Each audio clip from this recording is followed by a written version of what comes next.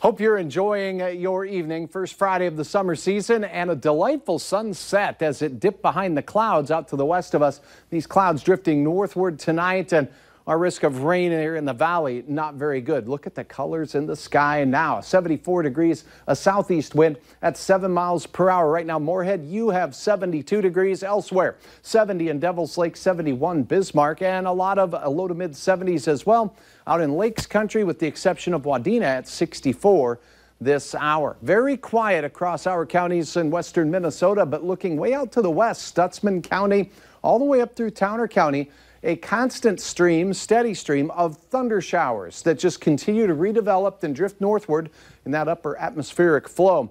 Only moving at about 10 to 15 miles per hour. Western Stutsman County over the last four hours have seen thunderstorms continue to meander through, now moving north of Interstate 94. Rainfall estimates by radar are upwards of one to three inches basically all west of the Cleveland area, Medina, seeing those moving on through the Woodworth area.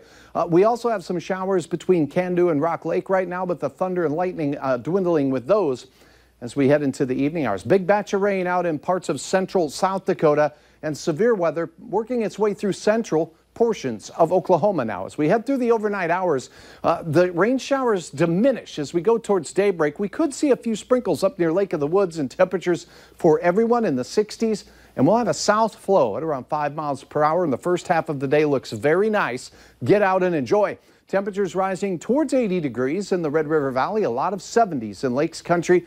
But in the afternoon, uh, spotty thunder shower chances will commence as a little weak upper level wave works its way through. The best chance of rain appears to be afternoon and early evening, uh, and it's going to be hit and miss out there. So not everyone will see showers. And temperatures in the afternoon a little cooler than today will peak in Fargo in the lower 80s. Our best chance of showers, as mentioned, in the afternoon and evening hours, then quieting down a little bit into the evening as temperatures slip back into the 70s. At about 5 in the afternoon, because of the best chance of showers out west, the temperatures will be limited to mid and upper 70s there, closer to 80 degrees in the Red River Valley and western Minnesota.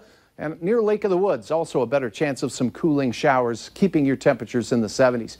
Tiffany Qualley uploading a dandy photo and an amazing sunset indeed. Sunday, cooler still. Most areas will be in the 70s and a better chance of rain here across the Southern Valley as we close out the weekend. Next week, we'll continue to see the rain shower chances. And then by the time we get to Wednesday, the warmer weather ensues with mid 80s likely Wednesday through Friday. All right. Thanks, Hutch. You bet.